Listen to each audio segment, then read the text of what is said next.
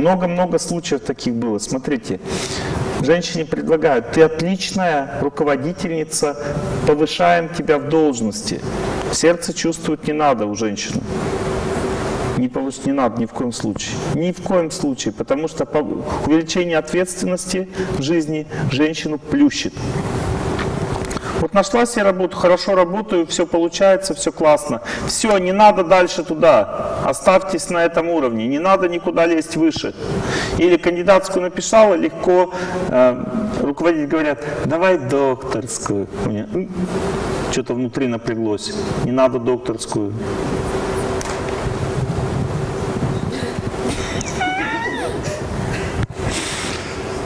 Понимаете, о чем я говорю или нет, женщины?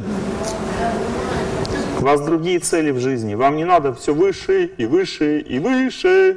Это не ваша цель в жизни. Слушайте меня внимательно. Зачем вы родились женщинами? Слушайте внимательно. Есть два типа рождения.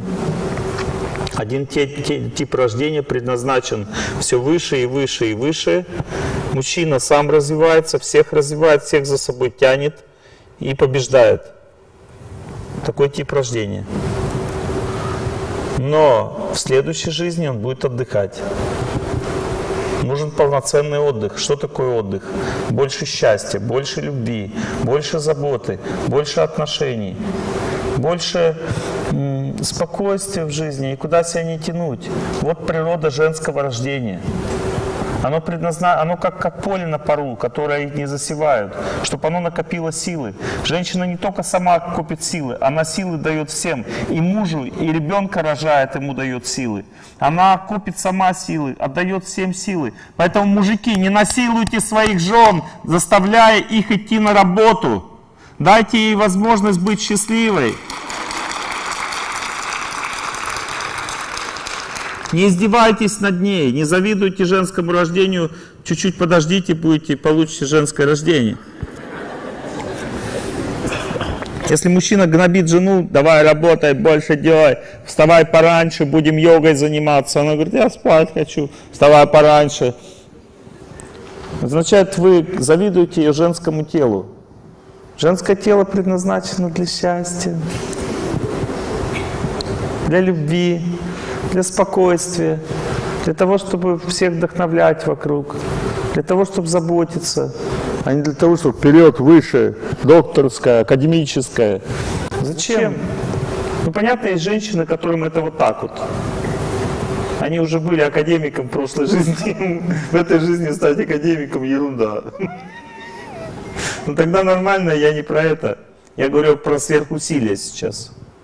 Не нужны женщине сверхусилия. Она разрушает свои гормональные функции сверхмыслями о сверхусилии. Она разрушает свою жизнь, становится некрасивой, замученной, несчастной. Кому нужна несчастная женщина? Никому. Услышали? Нет? В какое тело попали? Надо же понять. Человек не сразу понимает. Разберитесь.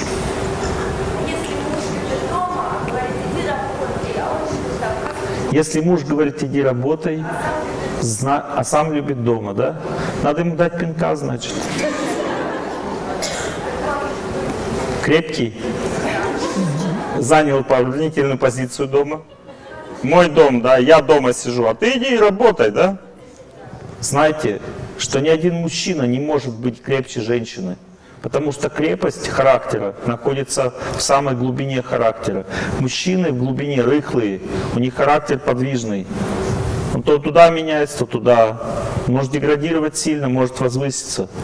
Характер крепкий только у женщины. Женщина как скала внутри. Она не, неизменна. С ней ничего не сделаешь. Она очень твердая, крепкая и сильная внутри. Женщина сама в себе этого не знает, и мужчина в ней это не знает. Но когда женщина себя познает, ни один мужик с ней не сможет соперничать. Шансов никаких нет. Вот этот внутренний психический цилиндр человека, он открывается полностью для, для вооруженного взгляда, только он открыт только в детстве и в старости. А в зрелости наружный, потому что человек очень много действует, у него много работы, поэтому у него наружный психический цилиндр очень силен в зрелости. Поэтому женщины в зрелости кажутся такими нежными, ласковыми. У них наружный психический цилиндр мягкий, подвижный, очень податливый. И она так себя такой воспринимает. Она такая мягкая, я такая слабая, не трогайте меня. Но если вы хотите свою истинную природу, посмотрите на маленьких девочек. Можно с ними справиться или нет? У них твердый характер очень. Мальчик, ну, мальчик в детстве, как сопля. А девочка, она твердый характер очень, с ней ничего не сделаешь, она упрямая, по-своему всех строит. Так или нет? Теперь слушайте дальше. Давайте посмотрим на пожилых людей. Особая форма жизни называется бабки.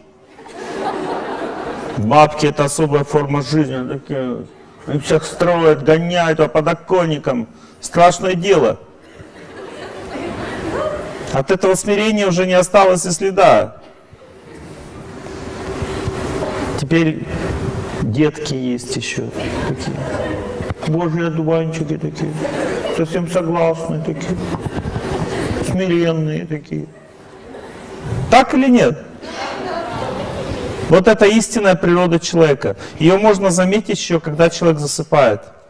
Когда женщина засыпает, у нее взгляд очень такой насыщенный, твердый становится. Такой, засыпает такой. А мужчина засыпает, как он засыпает? Посмотрите ему в лицо, когда он засыпает.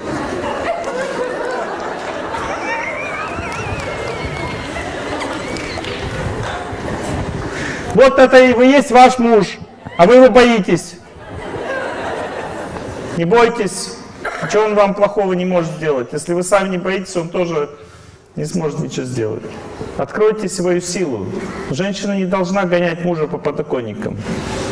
Когда женщина смиренно себя ведет, имея огромную психическую силу внутри, а мужчина, крепко не имея, наступает баланс в отношениях. Женщина уступает мужу по своей воле, а мужчина по своей воле берет ответственность. И тогда он становится крепче, она слабее. Наступает гармония. Не рубите мужиков.